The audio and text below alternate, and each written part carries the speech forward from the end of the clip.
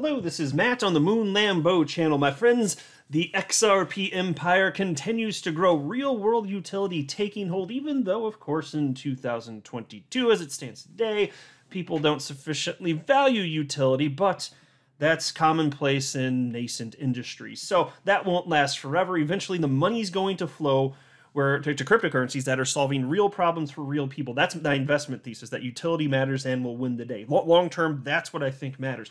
Now, in the short term, yes, of course, I recognize the whole market moves in tandem, and it's a bunch of uh, emotional, useful idiots causing volatility. And you know what? I'm appreciative that that exists as well because part of my short term strategy, at least for uh, you know this this market cycle, is uh, just counting on emotional people to cause extreme volatility. So even though that's negative when it goes to the downside, the trend's still up. And I'm waiting for a euphoric blow off top for altcoins. I do believe that alt season's coming at some point. So in the short term, yeah, strategy a little bit different, but I love seeing this stuff because this is real adoption of XRP and almost zero cryptocurrencies are used for anything in the real world.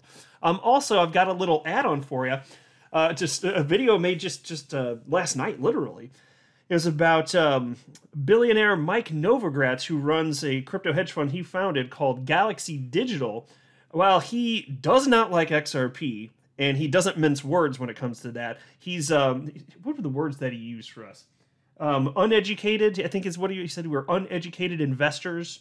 Uh, he's called XRP holders uneducated investors, and uh, he's, he's he just he detests XRP. He doesn't even think he doesn't even really good have uh, to, generally anyway have good things to say about Ripple the company, even though he has invested in them in the past. I don't know if he's still a holder of Ripple equity, but um, I made a video where I was highlighting, oh, this is rich, isn't it? Criticizing XRP, one of the only cryptocurrencies on the damn planet that actually does anything. Yet he, while while saying that ah, doesn't make sense, I, I think XRP is going to underperform. He he literally said that too. Uh, he's like, yeah, makes sense to invest in Luna though which is a cryptocurrency that within the last month or so, well, actually, it was a little over a month, it hit its all time high, a little shy of $119. It even um, was above XRP in terms of market cap. It has since then, within the last week and a half or so, it has since then gone to zero. And by the way, this is after he got a tattoo of Luna on his left arm. So as far as who it makes sense uh, to uh, listen to in terms of investment, eh, it's kind of a black uh, black eye on his investment strategy, I'd say. But he is, uh, and he, he, he vanished for like the last week and a half or so that this has been going on. He's just vanished. Well, finally today, coincidentally, one day after I put up my video, I, I probably nudged him right now. I'm kidding. Uh, finally, he had something to say on all this, so I'm going to share that as a little follow up here. But I do want to be clear at the outset I do not have a legal or financial background of any kind. I'm not offering legal or financial advice and you definitely should not buy or sell anything because of anything I say or write. I'm just an enthusiast who enjoys making YouTube videos about crypto related topics, but just as a hobby and just for fun. And there are multiple stories on this. In fact, here's a headline from U.Today Ripple to set up new on demand liquidity corridor between EU and Mexico via new partnership. And here's another story from Finance Magnates covering the same thing. And I'm actually going to run through this one.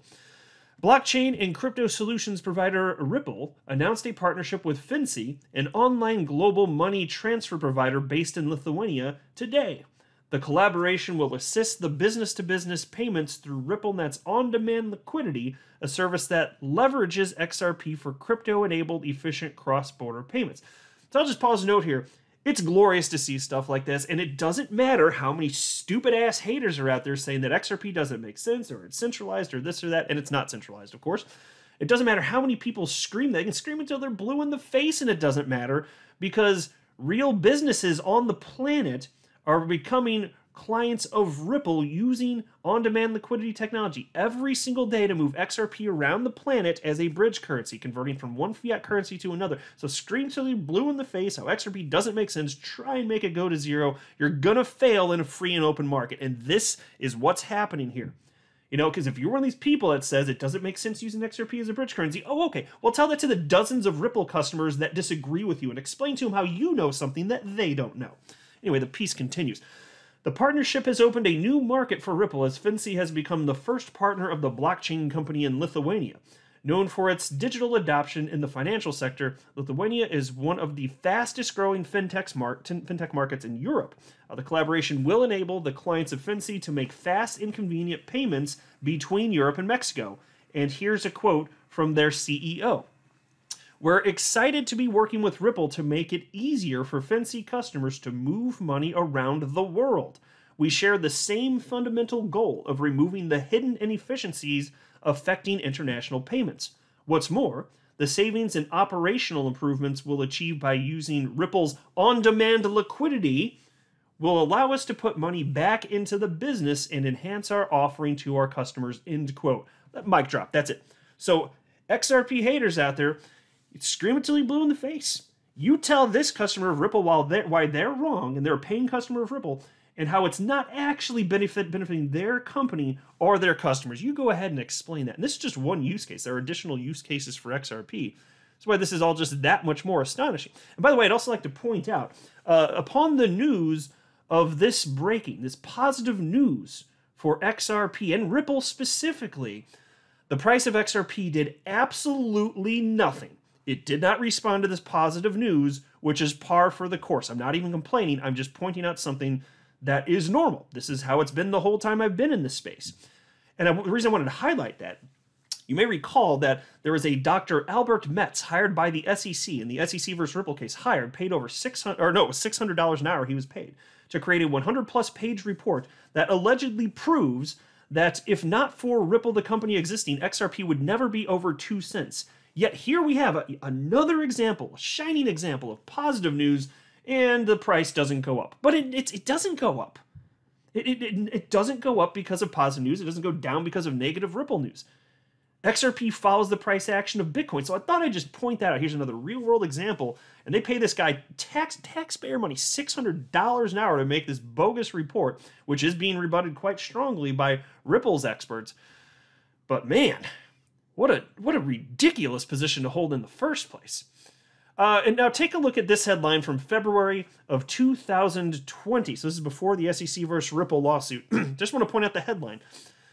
Bitcoin best bet in crypto, XRP will underperform, says Mike Novogratz. So that's a headline from February, the guy that ended up going uh, heavily into Luna, which ended up going to zero. Thinks XRP bad despite utility, real world adoption bad, definitely bad, but Luna, which some are arguing is an actual Ponzi scheme, uh, that makes sense. That makes sense to him. Okay. That didn't go so well for him, did it? And XRP actually, by the way, was performing quite well at the end of 2020, which is part of the time frame he was referencing back then. Um, it wasn't uh, until the SEC uh, attacked Ripple and, as a result, XRP holders effectively that uh, XRP then tanked from its high that year was somewhere around 80 cents down to got down to like 16, 17 cents. So it's because the SEC made the claim uh, that otherwise that plunge otherwise would not have happened. Obviously, it lines up perfectly, so that that's a no brainer here. But um, but but here here you can see this is from uh, just this late this morning. Mike Novogratz tweeted out after much thought, it's time to talk about last week and more importantly the weeks ahead. Uh, worth pointing this out, and this, this is shared by um, a number of people, including who's on your screen right now, XRP community member XRP Crypto Wolf. Here's a picture of Mike Novogratz with his Luna tattoo on his arm. If you haven't seen this, it's worth taking a look. He uh, shared this picture uh, January of this year, actually. And XRP Crypto Wolf wrote, What happened to Novogratz is karma for talking S word about the XRP community. The market will always humble everyone. And so here's what U.Today had to say about this. And their, their piece was titled Mike Novogratz Breaks His Silence on Luna Collapse. Galaxy Digital CEO Mike Novogratz, one of the top proponents of the failed Luna token, has finally weighed in on the collapse of the token in a recent shareholder letter. Novogratz, who had been eerily silent on Twitter over the past week, claims that he was busy reflecting on the economy and the cryptocurrency industry. He says that the algorithmic UST stablecoin, which lost its peg earlier this month, was a big idea that failed. Novogratz says that Galaxy invested in Luna in the fourth quarter of 2020.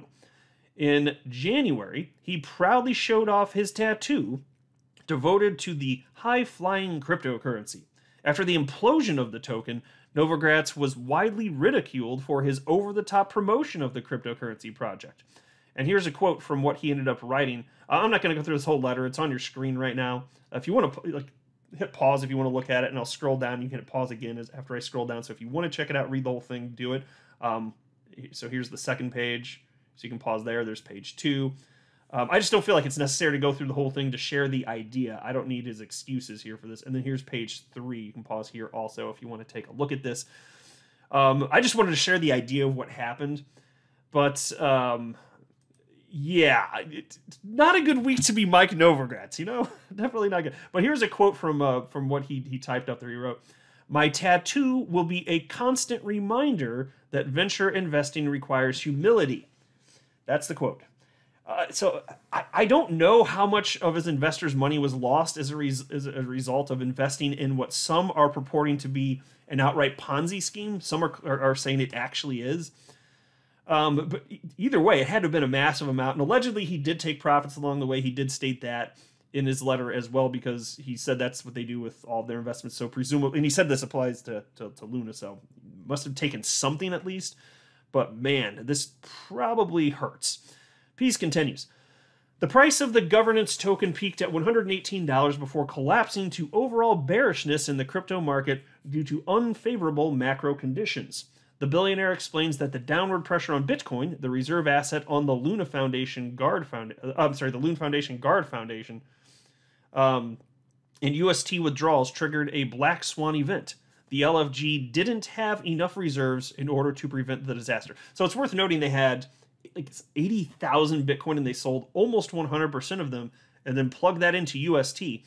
And some people have pointed out that look, the reason this crash started happening, the reason that Luna entered a death spiral in part, is because mark, uh, crypto markets are just tanking anyway. And then there's a mechanism which I've already described in recent videos, so I don't want to get into in this video.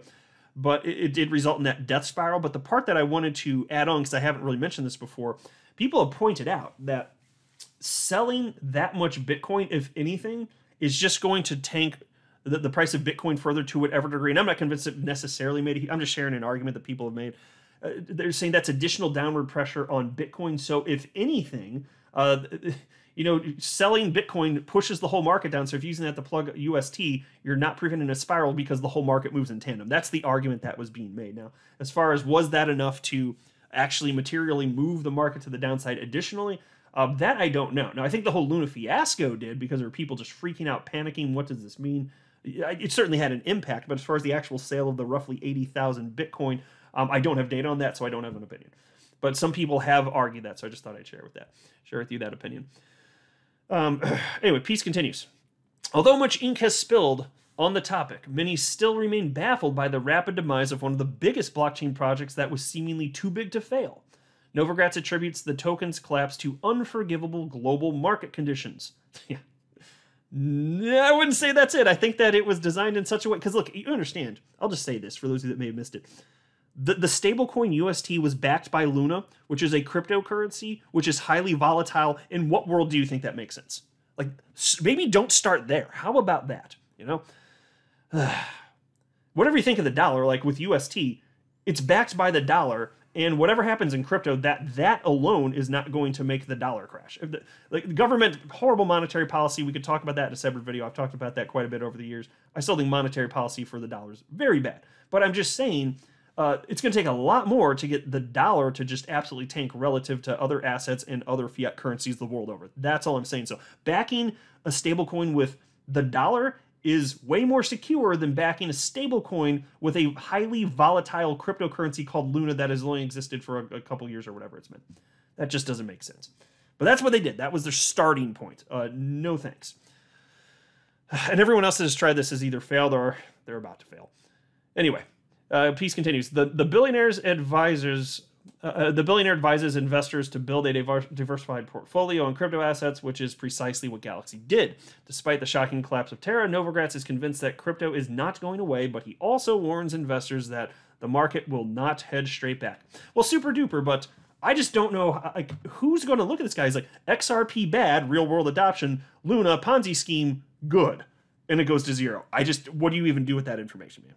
I'm not a financial advisor. You should not buy or sell anything because of anything that I say or write. That would be a very, very, very bad idea. Until next time, to the moon Lambo.